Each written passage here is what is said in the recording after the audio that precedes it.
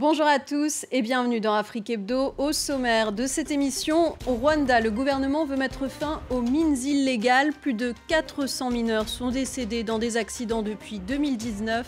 Kigali a entamé la modernisation de l'exploitation de ces gisements et attire les investisseurs étrangers. Le surf, un sport de plus en plus pratiqué sur les plages du continent. Au Sénégal, Pape Diouf s'est lancé dans la fabrication de planches avec des matériaux locaux et recyclés. Avec son appareil photo, elle raconte son Afrique pleine de beauté, de couleurs acidulées et d'énergie. Ses portraits sublimes, les femmes. La photographe Tandy Wemuriu est notre invitée. Au Rwanda, plusieurs euh, centaines d'ouvriers sont morts ces dernières années sur des chantiers euh, non déclarés. Kigali a décidé de régulariser et de professionnaliser ce secteur en attirant des capitaux étrangers. Les autorités affirment que le pays possède d'importantes réserves de lithium et d'autres métaux rares utilisés dans l'électronique et de nombreuses industries. Notre correspondant Clément Diroma s'est rendu euh, sous les collines rwandaises. Cette mine de l'Est du Rwanda était il y a encore quelques mois une exploitation illégale. Des travailleurs revendaient la cassitérite, un minerai indispensable pour les industries métallurgiques et alimentaires. Une société locale vient d'acquérir la concession. On a stoppé de travailler dans cette direction. Ils ont détruit la mine parce que les gens qui travaillent illégalement ne considèrent pas les effets sécurité, les normes minières. Les autorités déplorent la mort de plus de 400 mineurs dans des accidents depuis 2019. Elles ont donc décidé de régulariser les exploitations, région après région.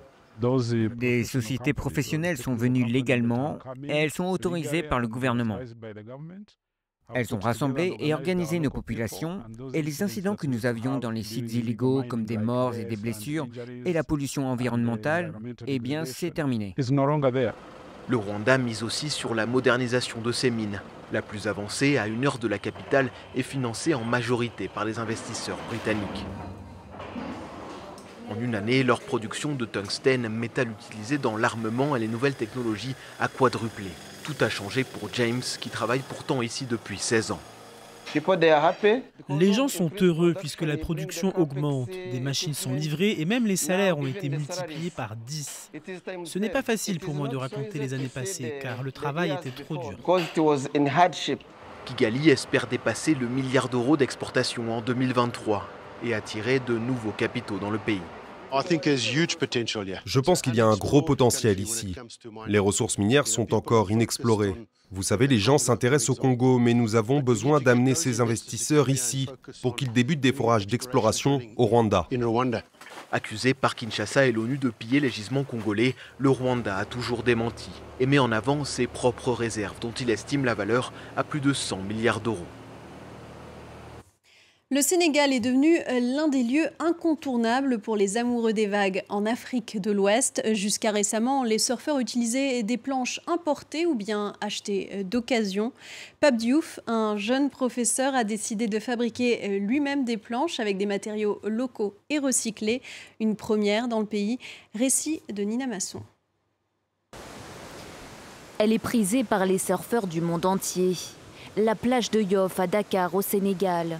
C'est ici que Pape Diouf a installé son atelier de fabrication de planches de surf, réalisées à partir de matériaux locaux. Commencé de rien, au début c'était juste un espace qu'on m'a prêté.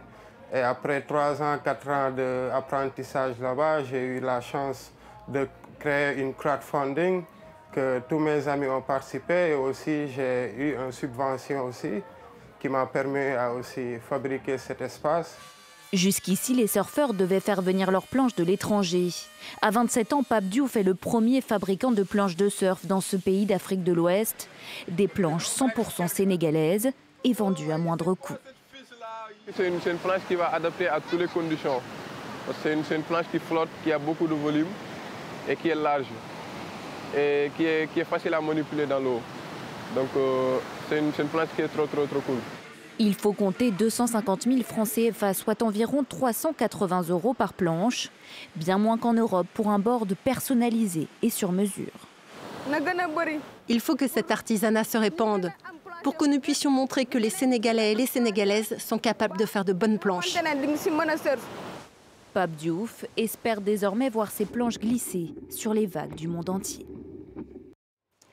Ces modèles se fondent dans les motifs ultra colorés de tissus africains. Leurs visages sont soulignés par des lunettes flashy et extravagantes. Elle encourage ses spectateurs à examiner sous un angle nouveau les concepts d'identité en explorant ce que signifie être une femme moderne et puissante. Bonjour Tanti Wemuriu. Bonjour. Merci d'être avec nous. Alors, nous avons le plaisir de vous recevoir à l'occasion euh, de votre exposition au solo show organisée par la 193 Galerie à Paris. Elle s'intitule You Thought You Could Throw Me Away. Euh, traduisez Vous pensiez pouvoir me jeter. Quel est le message que vous souhaitez faire passer avec cette exposition? Je pense que le message principal, c'est la rédemption. À travers mon travail, j'ai toujours exploré la notion d'identité. Et avec ce show euh, solo, je me concentre sur les identités des femmes et comment nous nous percevons nous-mêmes, ainsi que les identités des communautés et leur perception d'elles-mêmes. Avec mon travail, mon but, c'est de remettre en question nos perceptions, de changer les perceptions négatives que nous pouvons avoir. C'est à ça que fait référence le titre de l'exposition. Il s'agit de questionner le fait qu'en tant que femmes et en tant que communauté, nous sommes facilement méprisés. Et nous ne devrions pas jeter si facilement la valeur que nous ajoutons au contexte global ou à celui d'une communauté. Les femmes sont votre principal sujet de photographie. Vos photos inspirées par le milieu de la mode et particulièrement par le magazine Vogue représentent la beauté noire. Vous aimez explorer la place euh, des récits historiques autour de la beauté dans la définition de l'identité moderne. C'est un élément essentiel de votre travail de changer la perception des femmes africaines. Absolument. Je pense que pendant de nombreuses années, la féminité, la perception des femmes a été définie très étroitement. Personnellement, j'ai ressenti cette pression à travers mon propre chemin vers ma féminité et à travers mon parcours dans la photographie. Je voulais interroger sur ce thème pour moi-même et aussi pour les autres femmes. Donc oui, le thème central de mon œuvre, c'est de parler de la perception des femmes et la valeur que nous avons en tant que telles. Les tissus hypnotiques que vous choisissez sont aussi euh, des protagonistes à part entière euh, dans vos œuvres. Pour votre dernière série Woven Voices, vous avez travaillé avec le kanga.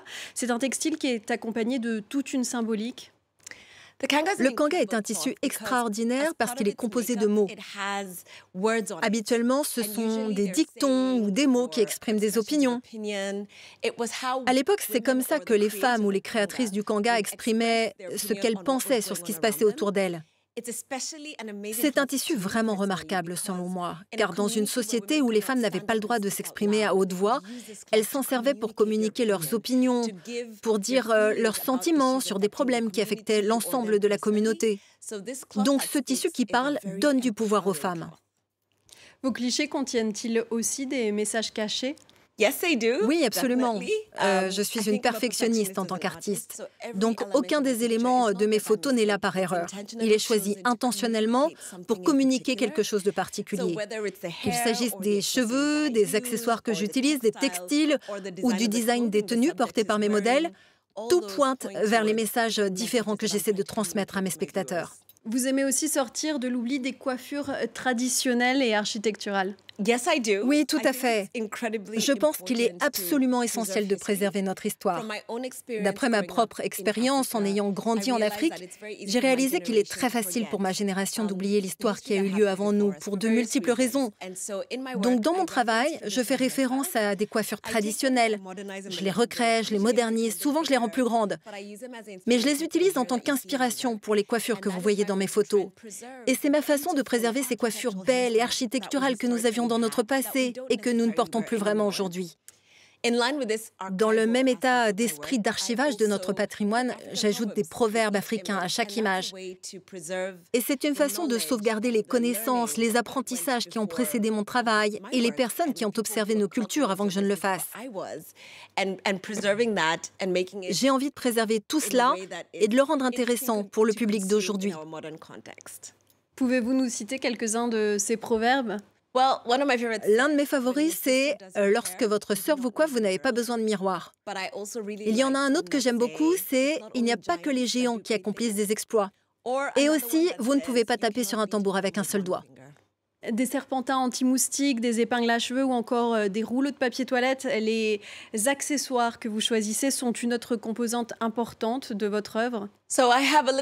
J'ai une sorte d'obsession pour la collection um, d'objets. Mais je pense que c'est ma manière de célébrer ma culture. Comme je suis issue d'un pays du tiers-monde, on n'a pas toujours la possibilité d'acheter les objets pour résoudre les problèmes qu'on a. Donc nous avons notre façon de recycler avec créativité, une innovation créative au quotidien. Et en travaillant avec des objets, je l'ai constaté. Je célèbre ainsi l'esprit créatif des Kenyans avec ces accessoires. Mais pour moi et pour toutes les femmes, c'est un rappel qu'il faut regarder au-delà de l'ordinaire. Je pense que j'ai utilisé de la cire à chaussures, des salières, des passes à linge pour fabriquer mes accessoires. Um, Ce sont des objets qu'on regarde au quotidien sans y réfléchir. Et peut-être aussi la façon dont sont traitées les femmes. Si vous regardez plus profondément, vous pouvez changer ces objets et en faire des pièces fantastiques qu'on ne peut pas ignorer. Et de la même manière, chaque femme est incroyable si elle se regarde sous un nouveau jour. Les choses qui peuvent lui paraître si ordinaires la rendent tellement extraordinaire. Merci Tandy Wemuriu d'avoir été notre invitée. Merci. Et merci à vous de nous avoir suivis. À très vite sur France 24.